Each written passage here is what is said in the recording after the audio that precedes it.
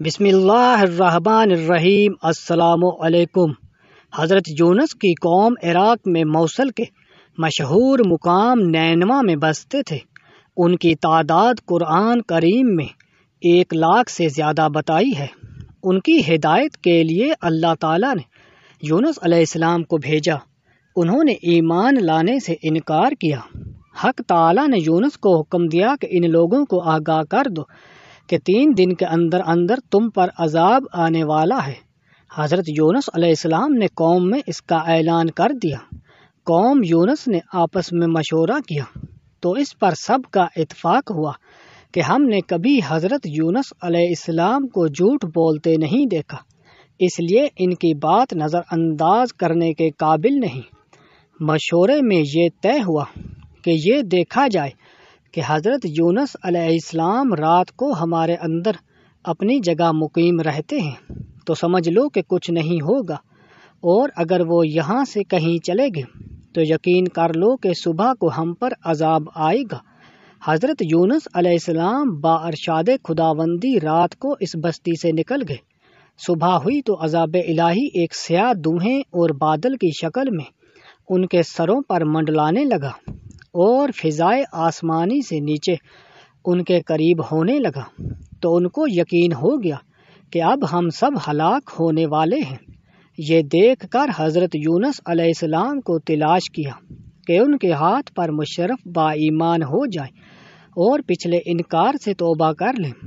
مگر یونس علیہ السلام کو نہ پایا تو خود ہی اخلاص نیت کے ساتھ توبہ و استغفار میں لگ گئے۔ بستی سے ایک میدان میں نکل آئے۔ عورتیں، بچے اور جانور سب اس میدان میں جمع کر دیے گئے۔ ٹاٹ کے کپڑے پہن کر اجز و زاری کے ساتھ اس میدان میں توبہ کرنے اور عذاب سے پناہ مانگنے میں اس طرح مشغول ہو گئے کہ پورا میدان آہو بکا سے گونجنے لگا۔ اللہ تعالیٰ نے ان کی توبہ قبول فرما لی اور عذاب ان سے ہٹا دیا۔ جیسا کہ آیت میں ذکر کیا گیا ہے، یہ عاشورہ یعنی دسویں محرم کا دن تھا۔ ادھر حضرت یونس بستی سے باہر اس انتظار میں تھے کہ اب اس قوم پر عذاب نازل ہوگا۔ ان کے توبہ استغفار کا حال ان کو معلوم نہ تھا۔ جب عذاب ٹل گیا تو ان کو فکر ہوئی کہ مجھے جھوٹا قرار دیا جائے گا، کیونکہ میں نے اعلان کیا تھا کہ تین دن کے اندر عذاب آ جائے گا۔ اس قوم میں قانون یہ تھا کہ جس شخص کا جھوٹ معلوم ہو اور وہ اپنے کلام پر کوئی شہادت نہیں پیش کرے تو اس کو قتل کر دیا جاتا تھا۔ یونس علیہ السلام کا فکر ہوئی کہ مجھے جھوٹا قرار دے کر قتل کر دیا جائے گا۔ انبیاء ہر گناہ مصیبت سے معصوم ہوتے ہیں، مگر انسانی فطرت و طبیعت سے جدا نہیں ہوتے۔ اس وقت حضرت یونس کو طبعی طور پر یہ ملال ہوا کہ میں نے باحکم الہی اعلان کیا تھا اور اب میں اعلان کی وجہ سے جھوٹا قرار دیا جاؤں گا۔ اپنی جگہ واپس جاؤں، کس منہ سے جاؤں؟ اور قوم کے قانون کے مطابق گردن زنی بنوں۔ اس رنج و غم اور پریشانی کے عالم میں اس شہر سے نکل جانے کا ارادہ کر کے چل دیے۔ یہاں تک کہ بحر روم کے کنارے پر پہنچ گئے۔ وہاں ایک کشتی دیکھی جس میں لوگ سوار ہو رہے تھے۔ یونس علیہ السلام کو ان لوگوں نے پہچان لیا۔ اور بغیر کرائے کے سوار کر لیا۔ کشتی روانہ ہو کر جب وسط دریا میں پہنچی تو دفعتن ٹھہر گئی۔ نہ آگے بڑی نہ پیچھے چلتی ہے۔ کشتی والوں نے منادی کی ہماری اس کشتی من جانب اللہ یہی شان ہے کہ جب اس میں کوئی ظالم گناہ گار یا بھاگا ہوا غلام سوار ہو جاتا ہے تو یہ کشتی خود بخود رک جاتی ہے۔ اس آدمی کو ظاہر کر دینا چاہیے تاکہ ایک آدمی کی وجہ سے سب پر مصیبت نہ آئے۔ حضرت یونس علیہ السلام بول اٹھے کہ وہ بھاگا ہوا غلام گناہ گار میں ہوں، کیونکہ اپنے شہر سے غائب ہو کر کشتی میں سوار ہوا تھا۔ بازن الہی یہ تھا کہ اس بغیر ازن کے اس طرف آنے کو۔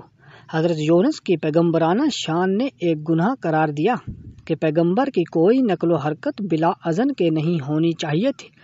اس لیے فرمایا کہ مجھے دریا میں ڈال دو۔ تو تم سب اس عذاب سے بچ جاؤ گے۔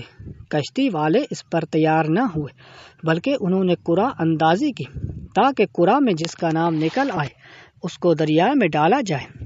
اتفاقاً قرا میں حضرت یونس علیہ السلام کا نام نکل آیا۔ ان لوگوں کو اس پر تعجب ہوا کہ کئی مرتبہ قرآ اندازی کی۔ ہر مرتبہ باحکم قضاء و قدرت حضرت یونس کا ہی نام آتا رہا۔ قرآن کریم میں اس قرآن اندازی اور علم یونس کا نام نکلنے کا ذکر موجود ہے۔ فساہم فقان من المدحزین، یونس کے بازار ساتھ حق تعالیٰ کا یہ معاملہ ان کے مخصوص پیغمبرانہ مقام کی وجہ سے تھا، اگرچہ انہوں نے اللہ کے کسی حکم کے خلاف ورزی نہیں کی تھی، جس کو گناہ اور موسیت کہا جاتا ہے، اور کسی پیغمبر سے اس کا امکان نہیں، کیونکہ وہ معصوم ہوتے ہیں۔ لیکن پیغمبر کے مقام بلند کے مناسب نہ تھا کہ محض خوف طبعی سے کسی جگہ بغیر ازن خداوندی منتقل ہو جائے۔ اس خلاف شان عمل پر بطور اتاب یہ معاملہ کیا گیا۔ اس طرح قرا میں نام نکل کر دریا میں ڈالے جانے کا سامان ہو رہا تھا۔ دوسری طرف ایک بہت بڑی مچھلی باحکم خداوندی کشتی کے قریب منہ پھیلائے ہوئے موجود تھی۔ یہ دریا میں آئیں تو ان کو اپنے پیٹ میں جگہ دیں، جس کو اللہ تعالیٰ نے پہلے سے حکم دے رکھا تھا کہ یونس علیہ السلام کا جسم جو تیرے پیٹ کے اندر رکھا جائے گا۔ یہ تیری غذا نہیں، بلکہ ہم نے تیرے پیٹ کو اس کا مسکن بنایا ہے۔ یونس علیہ السلام دریا میں گئے، تو فوراً اس مچھلی نے منہ میں لے لیا۔ حضرت عبداللہ بن مسعود رضی اللہ عنہ نے فرمایا کہ یونس اس مچھلی کے پیٹ میں چالیس روز رہے، یہ ان کو زمین کی تہ تک لے جاتی اور دور دراز کی مسافتوں میں پھراتی رہی۔ اس حالت میں حضرت یونس علیہ السلام نے یہ دعا کی، لا الہ انا انتا سبحان کا انی کن تو من الظالمین۔ اللہ تعالیٰ نے اس دعا کو قبول فرما لیا اور بالکل صحیح و سالم حضرت یونس کو دریا کے کنارے پر ڈال دیا۔ مچھلی کے پیٹ کی گرمی سے ان کے بدن پر کوئی بال نہ رہا تھا۔ اللہ تعالیٰ نے ان کے قریب ایک کدو لوکی کا درخت اگا دیا، جس کے پتوں کا سایہ بھی حضرت یونس علیہ السلام کے لیے ایک راحت بن گیا اور ایک جنگلی بکری کو اللہ تعالیٰ نے اشارہ فرما دیا۔ کہ وہ صبح و شام ان کے پاس آ کھڑی ہوتی اور وہ اس کا دودھ پی لیتے تھے۔ اس طرح حضرت یونس علیہ السلام کو اس لغزش پر تنبیہ بھی ہوگی اور بعد میں ان کی قوم کو بھی پورا حال معلوم ہو گیا۔